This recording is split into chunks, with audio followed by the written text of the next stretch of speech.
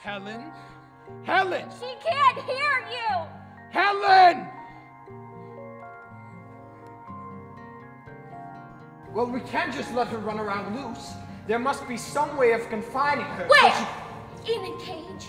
She's a growing child. She has to use her limbs. Katie. I might as well work in a vineyard in this house. It was Dr. Bell who thought that she might somehow be taught. I have written the family that only a suitable governess, Miss Annie Sullivan, has been found here in Boston and will come. I just- When do I see Helen? There, there is Helen.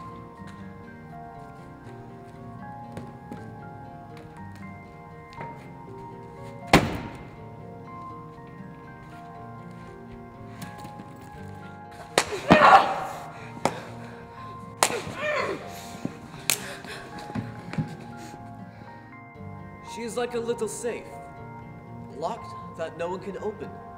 Perhaps there's a treasure inside.